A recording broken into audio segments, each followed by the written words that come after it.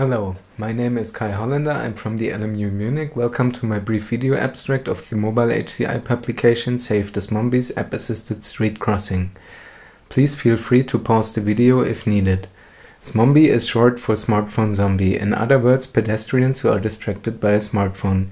Using a smartphone while walking in urban traffic is dangerous. Pedestrians have to split their attention between traffic, walking and using the mobile device. In previous scientific observations, distracted pedestrians overlooked a unicycling clown and money attached to a tree due to inattentional blindness.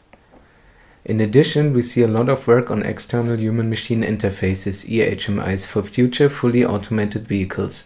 Some EHMIs are shown here, for example an attached face, projections or displays.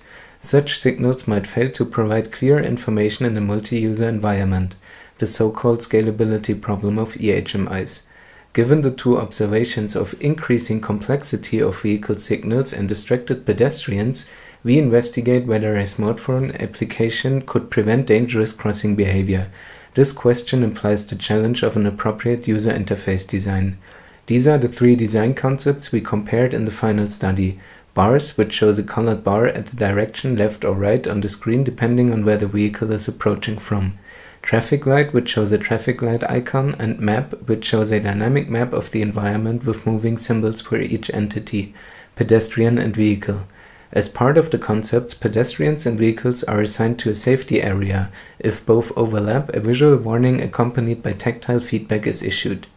A concept which uses standard Android notifications was not further investigated in the main study, since participants rated the concept as rather bad during the pilot study, Seven out of eight stated that they would probably ignore the notifications. For the main study we had 24 participants in a within-study design. Trials were counterbalanced with a Latin square. This resulted in a dataset containing 576 study cases. Each guidance method occurred 144 times.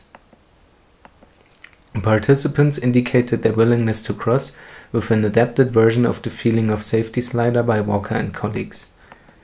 Here we see an empty graph with an ideal movement of a study run if the vehicle does not yield. The ideal pedestrian input blue line avoids the already mentioned safety area red part, and thus a potential collision. In this graph we see all participants' inputs mapped on the previously empty graph on the right side. On the left there are cases where the vehicle yielded, so it was always safe to cross. The bars concept leads to a rather clean and structured output. The traffic light and map concepts show more clutter and irregularities. The baseline means no guidance on the smartphone and leads to an almost chaotic output. Surprisingly, if we look at user preferences, we see the same order of concepts, bars with the best rating followed by traffic light and map.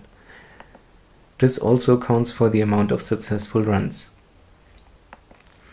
We conclude that on-screen guidance increases the frequency of successful crossing decisions significantly.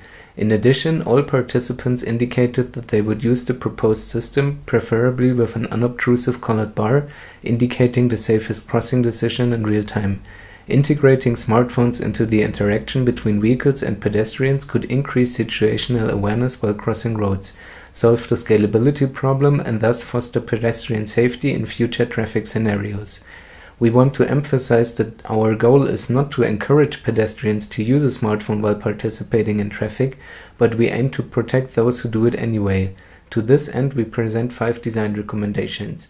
Thank you for watching. If you want further information, please have a look at the final paper or get in touch with the authors.